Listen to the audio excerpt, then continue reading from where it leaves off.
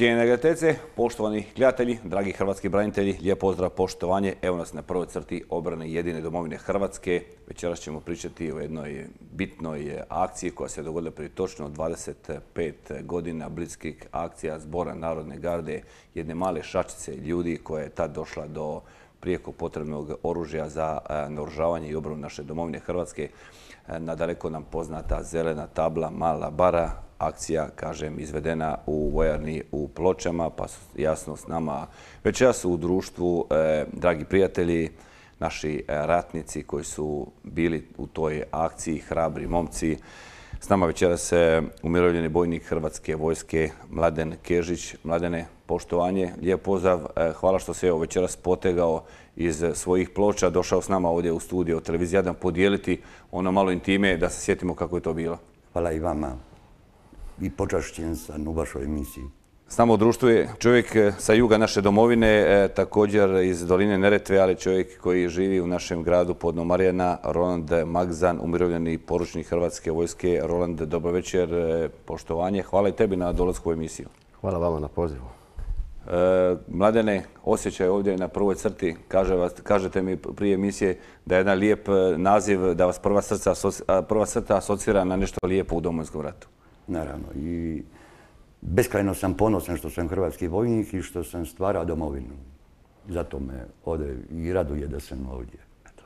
Roland, mi smo često ovdje u Splitu, zajedno se družimo na nogometnim e, terenima, ali e, kažeš e, također da s ponosom gledaš emisije koje pričaju o hrvatskim braniteljima. Nažalost, malo ih je u našoj domovini, ali evo, televizija Jadan se trudi na korektan način pričati o svetom obrambenom domovinskom ratu. Lipo je gledat vašu emisiju, lipo je gledat priloge koje stavljate u nju i ljude koje zovete naše prijatelje i suborce. A sad, evo, gospodo, predlažem da se prisjetimo e, tog 14. rujna 1991. E, prije točno 25 godina, pa da vidimo u ovom prilogu kako je to sve izgledalo. Za Hrvatsko u najvredniji rezultat akcije Zelene table Male bare bilo je konačno oslobađanje cijelog kraja od okupacijske JNA. Za cijelu Hrvatsku, a posebice za Dalmaciju, najveća važnost akcije bilo je zadobivanje velike količine raznih vrsta oružja i municije. Prema procjeni zapojnika Petra Šimca iz Malih bara je izvučeno 4800 pušaka, 20 topova, 190 PM-ova, veća količina zolja, 500 pištolja, 1000 trombona, ručnih bombi, mina, raznih streljeva, ukupno više od 300 tona raznog ratnog materijala. Ukupni rezultat bili su veći nego dobri. Snage obrane HV ojačale su u cijeloj Dalmaciji kao i Hercegovini, a dio je upućen na ostaje ratište u ostatku zemlje. U spomen na tu vojnu akciju 14. rujna proglašen je danom grada Ploča. Na svečani dosadacije nači u Pločama je ove godine obilježena 25. obljetnica akcije u kojoj su sudjelovali pripadnici zbora Narodne garde Metkovića i Ploča, pripadnici MUPA te diverzantski vod 4. brigade. Polaganje vijenaca odana je počast Santi Vrdoljaku jedinoj žrtvi u ovoj akciji, a u Domu kulture priređena je tribina radnog naslova Snagom ljubavi.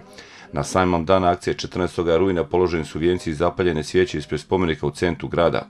U suprugu Nadu počast je odao i ratni ministar Luka Bebić u pratnji izglasanika predsjednice Republike Hrvatske Miljenka Jelića jednog od zapovjednika akcija. Počast su odali koordinacija braniteljskih udruga sa juga domovine izglasanih ministra branitelja Ivice Kukavica te izglasanca Ministarstva unutarnjih poslova i javne vatrogasne postrojbe te Hrvatske ratne mornarice. Potom se posao sudionika akcije preselio na centralni trg doktora Franje Tuđmana gdje su se u kratkim obraćajima sudionici akcije i njihovi gosti prisjetili dana kada je u pločama gorilo nebo, zemlja i more, kako je rekao jedan od zapovjednika akcije umirovljeni pukovnik Miljenko Jelić. Prije 25 godina na ovaj dan grupa hrabrih, ja bih kazao najhrabrijih sinova Doline Neretve, sa dijelom nama iz ostale dijela Dalmacije sa pripadnicima Zbora Narodne garde i Ministarstva unutrašnjih poslova Republike Hrvatske. Krenuli smo po ono što je naše. Krenuli smo po oružje koje nam je bilo zatvoreno, oteto, za oružje koje su naši očevi platili svojim novcem.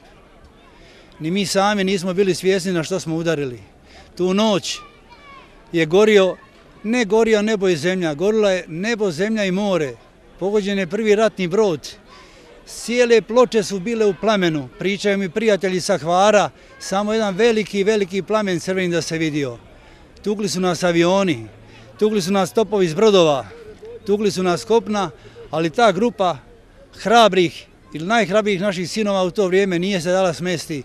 Mi smo pobjedili, ušli u vojarnu, uzeli oružje i to oružje je poslužilo za oslobađanje cijele Dalmacije, a poslije i cijele Hrvatske sve do Vukovara. Oružjem koje ste vi uzeli započelo je naoružavanje hrvatskih gardica i početak obrane tek stvorene države, naglasio je u kratkom govoru tadašnji ratni ministar Luka Bebić. Mi smo doista bili nenaoružani, mi nismo mogli e, ništa poduzimati ni u obrambenom smislu, ali kada je zauzeto skladište u malim barama, mi smo ne samo naoružali ovaj dio ovdje, mi smo naoružali ne samo ovaj dio ovdje, nego i sve tamo do Šibenika i Zadra i južno do prema Dubrovniku i tada smo mi mogli i obraniti se od napada koji su uglavnom išli iz Hercegovine, od JNA i ti garnizoni koji su još postajali mi smo mogli ovaj, dati adekvatan odgovor i na vojnom polju, a do tada baš i nismo bili dobro opremljeni, dobro, nego skoro nikako opremljeni i ovo je značilo mnogo, pogotovo za obranu Južne Hrvatske. Ovo je svakako najponosniji dan u povijesti našeg grada koji je nažalost mijenjao ime, no duša i srce kucali su vječno samo za Hrvatsku, istaknuo je gradonačelnik Krešimir Vejić. Sigurno je to dan koji je trajno upisan u povijest grada Ploča, prema mom osobnom mišljenju, a i velike većine mojih sugrađana, dan koji je najznačajniji u povijesti Ploča. Ne treba posebno spominjati kakva je bila naša turbulentna povijest, da smo im mijenjali imena, nekad smo bili Kardeljevo i početkom toga dana, odnosno ovom akcijom, kada smo oslobodili našu vojarnu, e, kada smo se domogli oružja, pomogli Hrvatskoj vojsci, i tada su pločani pokazali da uistinu žele promjene, da su na tragu stvaranja Republike Hrvatske, dali su maksimalni doprinos u domovinskom ratu, pomogli smo i ostalim gradovima, cijeloj Dalmaciji, to oružje je došlo čak i do Vukovara, e, u obrani Dubrovnika. Mislim da možemo kao pločani biti uistinu ponosni na današnji dan, na tu generaciju koja je sudjelovala u stvaranju samostalne Republike Hrvatske. Okupljene ponose ratnike i goste kratko su pozdravili župan Nikola Dobroslavić i jedan od sudionika akcije Goran Kovačević koji je istaknuo kako je akcija imala dvojako značenje, naoružavanje i sprečavanje agresora da nas ocijepi ostatka zemlje. Velimir Barbir, također sudionik akcije na početku svečanosti je predao prijavak izlasaniku naše predsjednike umirovljenom pukovniku Miljenku Jeliću. U glazbenom dijelu nastupla je domaća klapa Luka Ploče, a svečanost je okončana koncertom klape Rišpet. Evo nas se natrag u studiju. E, Mladene, ajmo za početak kratko u par rečenica na brzinu vaš ratni put, mada bi trebala jedna cijela emisija u par rečenica. Početak 1991. dakle prvi šestog sam se uključio u zbor Narodne garde kao djelatna osoba, potpisani ugovor i tako dalje, pri 116. gardijskoj brigadi. Dakle, 116. brigada e, je nasljednik, mi smo nukleus te brigade, zbor Narodne garde, naša djelatna satnija. Dakle, ta 91. je u mom, u mom srcu ocrtana veličanstveno, gdje sam ponosan što sam branio domovinu. Nakon toga, samo na brzinu, Aha, cijeli ratni put na brzinu? Da, 92. krajem 92. prilazimo u u djelatnu postrojbu, dakle u, u četvrtu gardijsku brigadu. I tu ja ostajem do 94. do kraja, gdje sam umirovljen. Ali sam dobio zapovi da idem u, u južno bojište kao, kao časnik Hrvatske vojske na ispomoć u HVO. I tako da sam e, početkom rata ranjen na Dubrovačkom dijelu, a završen, poslije oluje sam zarobljen i izašao sam iz logora negdje 96. u siječnju. Bili ste u logoru u Banja Luci, ako se ne Banja Luci, da. Da, e, Roland, kratko, cijeli život si bio u, cijeli svoj ratni put si proveo u sastavu četvrte gardijske brigade. Jesam, naša satnija je e, e, po zapovjedi ministra obrane prišla u sastav četvrte brigade neposredno pred akciju Maslenica. Dalje smo odradili sve kao pripadnici treće satnije, treće vojne četvrte brigade. Do kraja. Da, e, ajmo sad, ono rekli bismo to tako, kad smo razbili malo temu, e, prisjeti se tog 14. rujna 1991. godine kada je su posebe zbora Narodne garde Metkovića i Ploča, četvrte gardijske brigade Splita, MUPA i drugih manjih posebi zauzele skladište JNA u kojem je bilo pohranjeno naoružanje teritorijalne obrane Metkovića, Ploča, Vrgorca i Makarske ukupno oko 5000 komada koje je na je odnijela iz skladišta se, e, kažem, izmjestilo teritorijalne obrane. Bili ste gospodo sudonici te akcije, ajmo se prisjetiti malo samih e, mladene, same pripreme te akcije, kako je to tad izgledalo. Znamo i sami da je na svakom kantunu bilo e, Kosovaca, bilo je ljudi koji su javljali stanje na terenu e, jakoj sili Jugoslavenske narodne armije i trebalo je sve to pripremiti danima, danima do u detalj, jer greške nije smjelo biti. Dakle, 9. mjesec, 14.9. Mi smo tri mjeseca već e, djelatnici obučavali smo se za nešto slično i što će biti, ne znajući da će toliko domovinski rat trajati, ali Bogu hvala. Ovaj, mi smo se pripremili u Metkoviću za tu akciju e, sa dva voda ljudi koje je vodio Miljenko Jelić, naš prijatelj i zapovjednik u to vrijeme. U Metkoviću smo obložili dva dajca na dva dana prije obložili čelikom i bio je plan napast male bare. Naš zadatak je bio, konkretno našeg voda, Magzene, ući u sidrište, onesposobiti brodove, djelovanje brodova, zarobiti ljustvo, ne dati brodovima izaći vani, ne ih potopiti, i očuvati most i koordinirati sa, desnim sjevernim dijelom e, našeg voda i, metkovske pričuve koji su ušli sa magistrale na, na skladišta. Naša zadaća je obavljena istinski, baš vojno. I pri tom smo odradili posao, onesposobili dakle brodove, zarobili 25 ljudi, skladišta su tokom noći počišćena.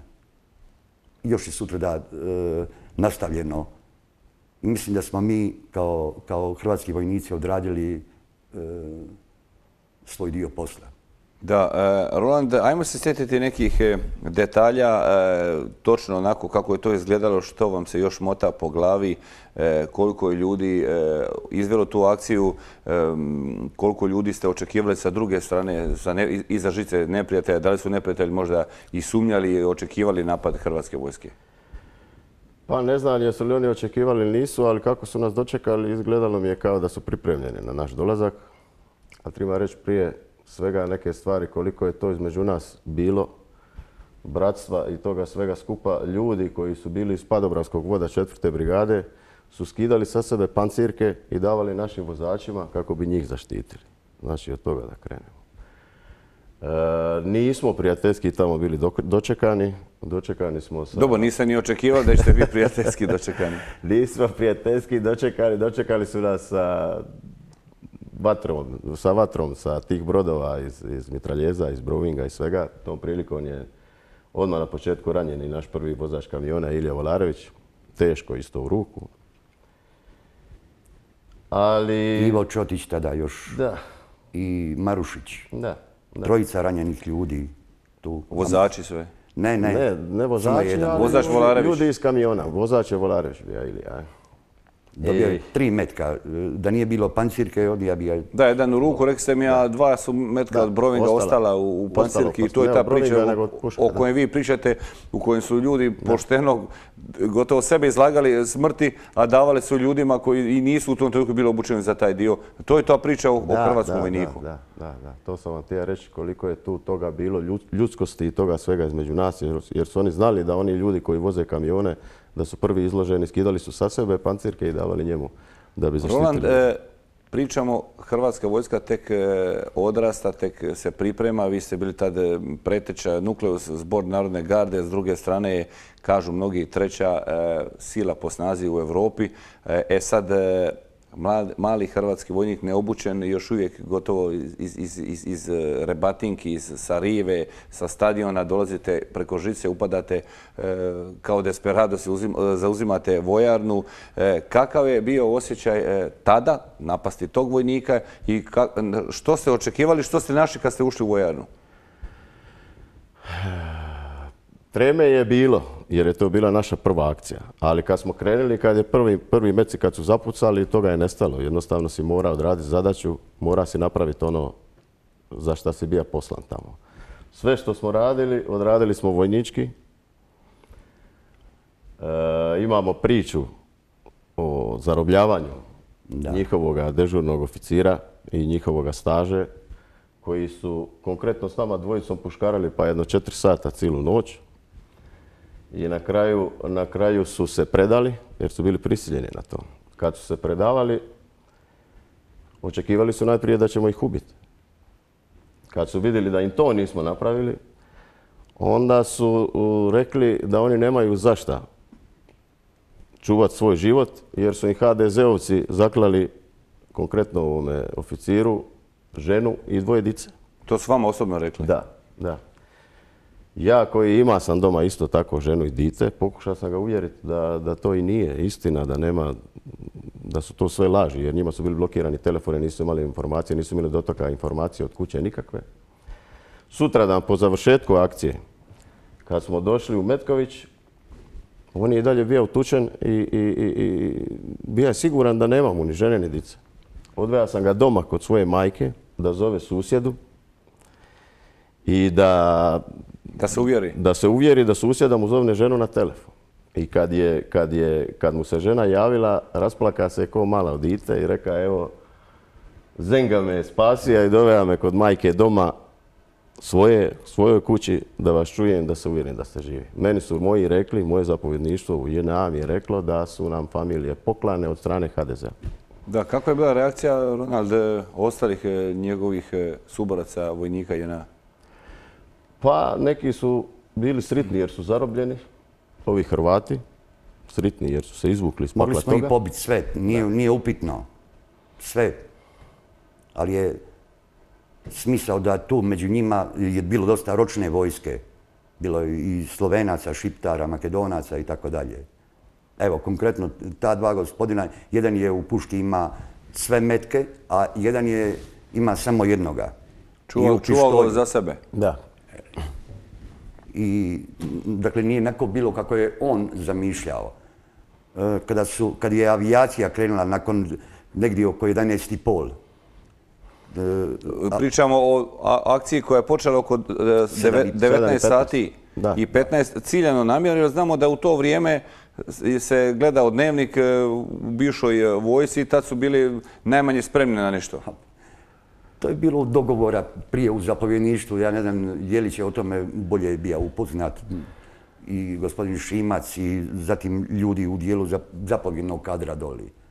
Mi smo pišaci, mi smo dakle, akteri toga, dakle, u dijelu zapovjednom, bilo je govora da je, da je to kao predano ili da, dogovoreno. je dogovoreno i tako dalje. Ali vamo doli nije bilo dogovoreno. Jer oni bi i sa brodova tukli, dobro tukli, no bili su pokriveni, mi smo imali kalašnjikove. U autu je bilo dva ručna bacača za, za nuždu i nismo ih izvadili samim time što je kamion došao do kapije i odmah su ošlenili po nama i da nije bilo tih željeza, bilo bi 30, 30 mrtvi ljudi. Da. nismo obložili čelikom to. A mi ni jednog nismo tada ubili. Bilo je nešto na tim e, brodovima njihovih ranjenih. Pričali ste mi, e, Roland, o nekakvoj sajli koja je bila provučena e, da, da brodovi ne mogu e, pobjeći pa onda pucati iz, sa pučine prema, prema našim e, snagama. Ko je tu sajlu razvakao?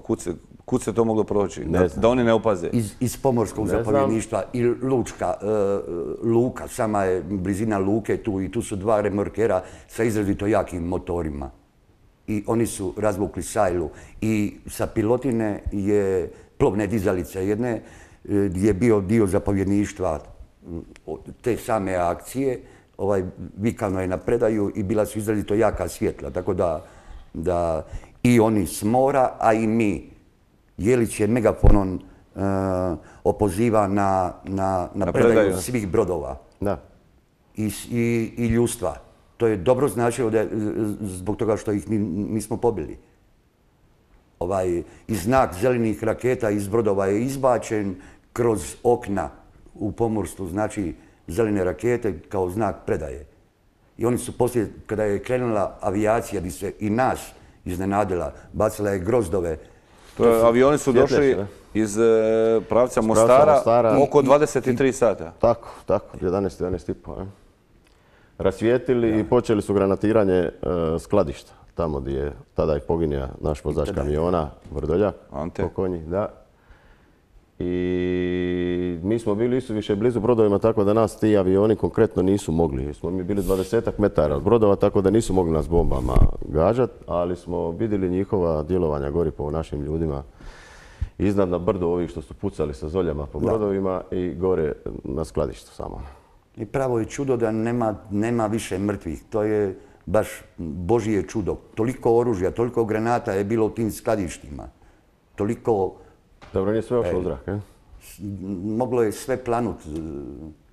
Roland, e, rekli ste komunikacija, s- vi ste bili sa južne strane, kad gledamo sa one ceste, e, druga ekipa je bila sa sjeverne. e, Bili ste non stop u, koordinaciji sa e, jednim od e, vođa akcije, sa gospodinom Miljenko Jelićem. E, Kako je tekla priča akcija? Je li bilo kakvih možda zastoja u toj vašoj, onom, ono što je planirano? Mi smo imali komunikaciju Motorola normalno, svaki zapovjednik poda ima Motorolu i bili smo uvezani. Osim toga Jelića smo čuli stalno na razglas kako poziva brodove na, na, na predaju. Odmah po dolasku tamo, nakon pola sata smo čuli da su gore naši zauzeli to skladište i da je počelo istovaranje oružja. Primarna, primarna stvar ove akcije je bila naoružati Dalmaciju, Južnu Dalmaciju i Hercegovinu jer je u tom skladištu bilo naoružanje od teritorijalne obrane gradova Makarske, Ploča, Metkovića. Ne znam Da, negdje oko 5000 ovaj, lakog i teškog naoružanja je bilo otprilike. Da, i bilo nam je bilo nam izuzetno drago da smo gori tako lako ušli. Međutim, kod nas to baš doli i nije išlo tako lako jer nismo mogli prići tim brodovima od njihove vatre. E, Naši ljudi po osvajanju skladišta gori su se spustili od ozgo sa sjeverne strane po obroncima i počeli sa, sa raketnim bacačima tući doli po tim brodovima jer se, je jer se nisu tili oni pridat, nisu, nisu pristali na tu pridaju. I jedan brod je bio zapaljen, Tako je. I dozvolili smo, tako je bija, uh, smo ga mogli skinuti. Vidjeli smo da, da pokušavaju ugasiti brod. Brod se izdvoja još je Da. prema tehničkoj radnji tamo. Da, odvezali su taj brod sa veza Da ne bi i drugi izgorili. put, ali vani nisu mogli izaći od te sajle. Tako da se taj zapaljeni brod vrtija po sredini vale. Nije moga i, i, i od nas, jer mm, ja bi se treba izmaknuti, mm, gađat brod onaj ručnim bacačem. Zolje nismo imali. Zolje su naši dečki gori u skladištu vidjeli. Mi nismo nikad vidjeli prije zolju. Da. Mislim, stvarno nismo. Pa da, niti smo znali rukovac, sad niti smo imali zolju. Tako da, jedan momak Makedonac, Makedonac od ovih e, zarobljenih je e, siša i puca po, po tim brodovima. Znači, vojnik zarobljeni JNA je rekao, ja znam pucat iz zolje i iz ose. Čovjek, ja ću." je, čovjek jedva dočekao. E, čovjek jedva dočeka. Mladene, pričamo o, o gornjoj ekipi, o donjoj, o sjevernoj strani, o južnoj, da naši gledatelji znaju koji dolaze u ploče sa sjeverne strane je, je ono, sama početak vojarne, pa idemo prema južnoj strani. Koliko je to udaljenost u metrima između sjeverne, i- gornje sjeverne i donje južne točne otprilike? Ma nepun kilometar i pol, Bože. Sidrište i gori magistrala. Da, gdje je poginuo Vrdoljak. Vi sa ceste ne morate ništa vidjeti ne možemo vidjeti. stražarske kućice. Da, mi ne Već su možemo tamo skladišta su bila zavučena. I nije tu samo bilo 5000, uh, jer tu je bio garnizon uh, Mornarice.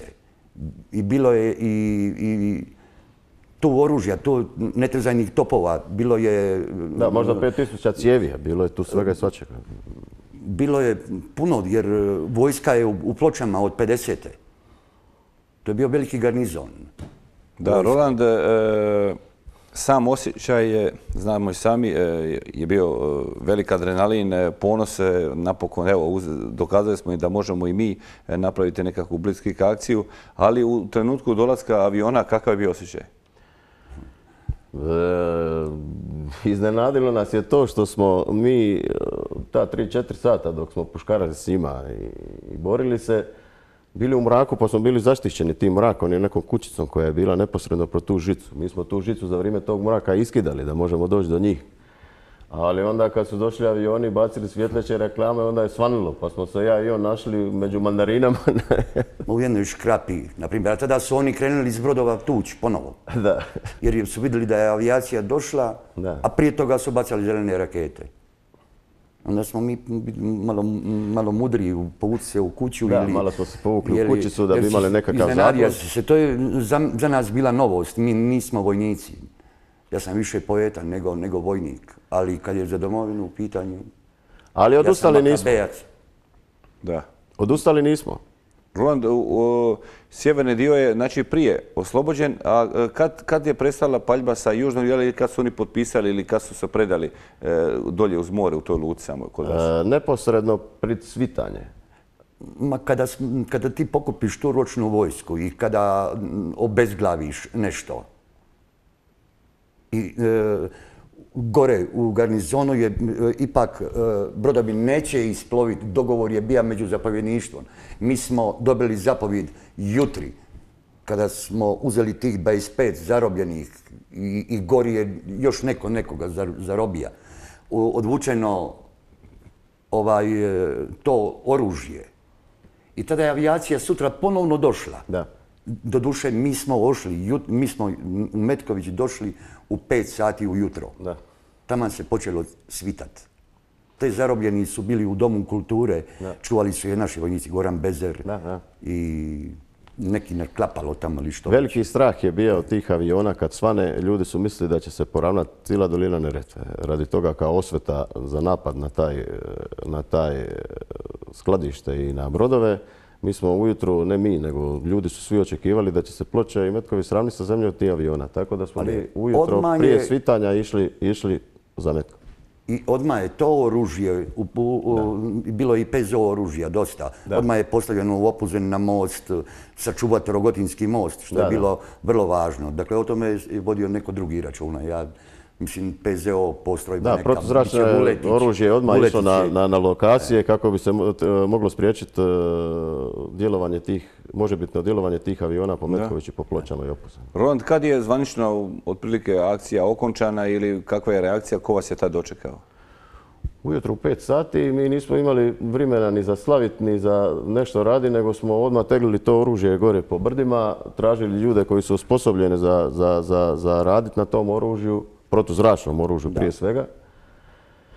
Dio ljudi ostao čuvat te zarobljene u, To je trajalo 3-4 Domu dana, kulture. jer Crveni križ je došao i, i naš Crveni križ organizirano vojnicima je podijelio e, civilnu odjeću. E, općina Metković i e, dala i novac tim ročnicima da idu doma. da, Tako da, što se tiče, mi te zarobljene nismo m, čak ni ošamarili. Eto. maksimalno vojnički i profesionalno smo postupali s Da, oni mogu se uvjeriti da nema nikakvih e, ustaša, nikakvih e, vađenja dječjih očiju, kako je to ta mašinerija već godinama e, pričala, već se radi zaista o jednim ponosnim hrvatskim ratnicima, e, jasno kakvi su bili u cijelom domovinskom ratu. E, Ronald, ajmo sad u posljednju trećinu emisije kratko nešto malo i o vašem ratnom putu. Dalje vi ste sa postrojbom prošli ratišta Dubrovačkog zaleđa i Istočne Hercegovine. Pa da, sa našom satnijom smo bili na Popovu polju, dolje od Dubrovnika, Slanoga, Zatona, Mokošice. Čepikuća. Poslije po uključivanje, da, poslije po uključivanju u četvrtu brigadu smo prošli već poznata sva ratišta s četvrtom brigadom od Maslenice do Oluje, Da, e, do kraja. E, Mladene, vi ste poslije ove akcije otišli jasno isto, kao što je rekao e, Ronald, na južno bojište. E, Tamo ste ranjenu ruku u selu Zatonu, e, doli u Dubrovačkom zaleđu. E, Kako je to izgledalo? Znademo koliko je dug Pelješaca, koliko je kada je slano palo. Dakle, e, ako uzme Pelješac i od Čepikuća na Lisačke rudine dođe do, do Bistrine, automatski ima i ploče. Dakle, vrlo je važno bilo e, ovaj, sačuvati ulaz u Pelješac. Mi znademo da je od, od Dubrovnika sve palo, i Slano, i, i mm, Sustjep, Sustjepan, Mokošica Cila, cilo e, Dubrovačko primorje. I došli su, do, došli su do stona. I to je vrlo, vrlo važno bilo da, da Peljašac uđe u njihove ruke. Zato su se i trudili. E tu sam ja ranjen. Tu nas je ranjeno dosta. Tu smo izgubili prvu žrtvu. Da, Renata. Renata, Renata Čovića iz Opuzena, 19 godina. Jeli. Ostaje skumiran ovaj, tri mjeseca u tom teritoriju. Dakle, oni su ipak uspjeli zauzeti dio Pelješca i došli su do sela Zamasline. I to je bila vrlo opaka borba. Ova od malim barama je sitna stavka u odnosu na, na taj. Na ovaj sami jug domovine. E, Roland, vi ste, rekli smo, spomenuli ste Masenicu, spomenuli smo ovog poginunog našeg viteza, pa onda Vrdoljaka nešto najtužnije, najteže što može e, čovjek doživjeti, to je saopćiti, priopćiti e, majci ili rodbini da je njihov sin poginio. Eto, nažalost, i vi ste imali jednu tu e, nečasnu, rekli bi to teško, za nezahvalno bolje tako reći ulogu. Jesam, jesam. Na Maslenici nam je poginio Mario Nikolić Kiš i dobija sam zadaću otići doma, obavijestiti mu roditelje, odnosno mater, o tome i to je najteži definitivno trenutak u mom životu kad sam mu mora materi reći da je poginio. To je nešto što ne bi poželio nikome, to sam uradio tada i nikad više. Majka vas je čekala razdragana, raspjevana, ali jednostavno e, muk da. je učinio svoje. Mater je bila cijela stritna kad nas je vidjela jer je mislila da smo došli doma, a jedna žena je po televiziji gledala kakav jad se sve događa doli po toj masenici. I onda kad je vidio moju reakciju nisam joj treba reći ništa. To je nešto bilo... Sama je shvatila, nažalost. Da. E, mladene, e, vi ste nakon e, Maslenice otišli na školovanje na vojno učilište. Tako je, bija sam šest mjeseci, od trećeg do devetog mjeseca i vratio sam se natrag u četvrtu gardijsku brigadu i ja već, pošto sam bio ranjen, u to vrijeme je profesionalizacija dakle vojske što više, tako da mm, su mene oni ovaj, rekli da ostanem malo na čekanju, iako sam bio osposobljen voditi e, satniju bojnu po, svojoj stručnoj sposobnosti. I iako se ranjen, normalno ja nisam bio za mirovine jer moje srce je za Hrvatsku neupitno. I tada sam dobio zapovjed iz ministarstva da idem na odkomandu, odnosno na ispomoć u u HVO, odnosno zborno, područje Mostar. Gdje sam gore surađivao sa Glasnovićem. Bio sam spona sa Hrvatskom vojskom u napadu na, na Livanjske golije, Strmicu, Grakovo, zatim na Glamoču. E, na, na Glamoču sam i zarobljen u da, vraćamo se, vraćamo se, evo, u posljednji smo 4-5 minuta emisije, vraćamo se na kraj vašem zarobljavanju. Ronald, kada danas gledamo sa e, ove distance, 25 godina je proteklo e, od same ove prve akcije Zelene table Mare, bare, kako danas gledate vi? Što, što kažete u, vašoj djeci, prijateljima? Kakav je to osjećaj? Tada staviti se u to kontekst vremena. Ja sam izuzetno ponosan na ono što sam ima i drago mi je da sam živio u jednom vremenu koje je bilo dosta ružno, ali smo mi bili u mogućnosti stvoriti tu Hrvatsku što su generacije naših didova i pradidova čekale. Mi smo to napravili i ja sam izuzetno ponosan na to. Rat je završio, lipo se sititi ovih priča i o njima čakulat malo, ali treba živjeti dalje, treba živjeti za svoju dicu, treba stvarati Hrvatsku, treba, naši političari trebaju gledati ove emisije da, da i oni osjete malo dija toga svega što smo mi proživjeli. E, Ronald, vi ste, e, rekli ste, vratili ste se e, normalnom životu, što je i lijepo. Aktivni ste sportski djelatnik. Da, delegat sam na nogometni utakmicu. Do koje ste lige dogurali, gdje ste? Druga bio, sad sam treća. Druga bio, sad ste treći. Korak unatrag. da. Dobro, vratit ćemo, to na, one pozicije koje vam pripadaju. ajmo malo, nakon Oluje cijela Hrvatska slavi veselje u domovini. Napokon domovina je cjelovita, slobodna, ali nažalost za vas dolaze najteži dani u vašem životu. E, sedmog sam već bio u Kninu gdje sam želio doći. Sedmog. Kolovoza?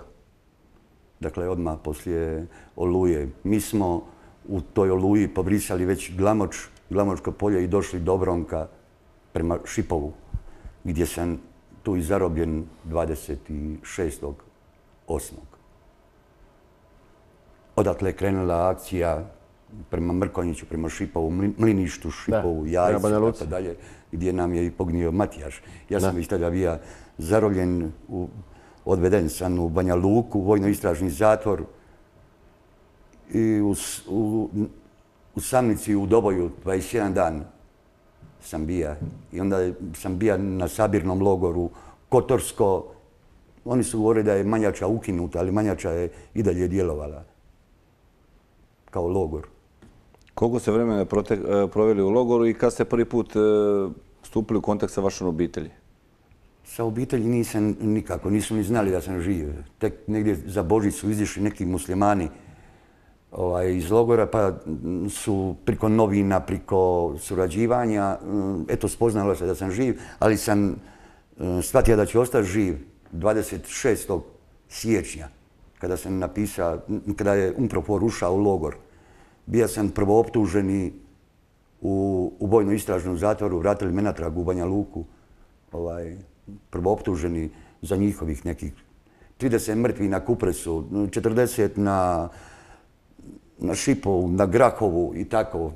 Oni su, dakle, pravno htjeli mene uh, Odnosno, ali sve je to bilo samo, samo jedna farsa i Madane, dok vi e, za kraj pripremite jednu dirljivu pjesmu, znamo da ste pjesnička duša, ali u prvom redu Hrvatski rat i vi pripremite e, knjigu, e, pjesmu ovdje za kraj u zadnjoj smo minuti.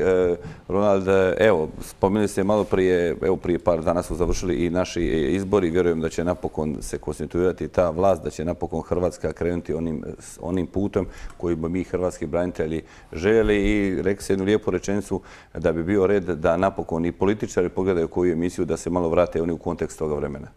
Ma da, e, trebaju ljudi shvatiti da mi kao branitelji nismo dovoljno iskorišteni. Mi imamo još svog potencijala. U redu nismo možda za politiku, ali imamo svoj potencijal koji ovo društvo treba naći. Da nismo samo oni koji doma leže, primaju mirovine i da smo na teret ove države. I da smo mi oni koji smo zaslužili još malo nešto raditi u ovoj državi. Da, Mladene, evo za kraj je, pjesmu ste posvetili kome? Svim hrvatskim majkama koji su izgubili svoje sinove u domovinskom ratu. Moja pjesma se zove Tri mati. O utrobo moja živa, cvite moj, rano moja Hrvatska živa. Dok te mrtva gledam, još mi po utrobi igraš. Učila sam te zdravo Mariji i očenašu i da Hrvatica te rodila. I da pored mene imaš još dvije mati. Jedna te sada prima i nju si zadnju poljubio. Majku čiju su utrobu granate nemilice napatile. Naša draga Isusova mati sa oskrnavljena oltara krvavo je plakala kad si je dozivao ljubeći. Mirno me čekaj, cvite moj, čedo moje, u utrobi naše hrvatske mati. Još jednom, hvala vam što ste me pozvali. Hvala lijepo, Mladena, na gostovanju. Za kraj, dirljivije da nije moglo biti. Roland, imamo li šta dodati za kraj, kratko? Zahvaljujemo se na pozivu u emisiju. Drago nam je bilo ispričati dio našeg ratnog puta. Evo, gospodo, hvala vam što ste bili e, nakon 25 godina opet, barem u mislima, na prvoj crti ovdje u televiziji Jadran. Hvala, hvala vama. Evo, cijene GTC, poštovani gledatelji, dragi roditelji poginulih hrvatskih vitezova, dragi hrvatski branitelji, ovo je bilo 112. izdanje emisije na prvoj crti obrane jedine nam i voljene domovine Hrvatske. Pozdrav vama domovinskoj iseljenju u Hrvatskoj, pozdrav vama dragim našim braniteljima iz eh, Hercegovine. Za kraj, jasno, pozdrav eh, svim hrvatskim braniteljima, ma gdje go bili i završimo sa onom eh, našom porukom prvog hrvatskog predsjednika. Uvijek i sve za našu Hrvatsku, a našu jedinu i večnu Hrvatsku nikome ni za što. Želimo laku i ugodnu noć.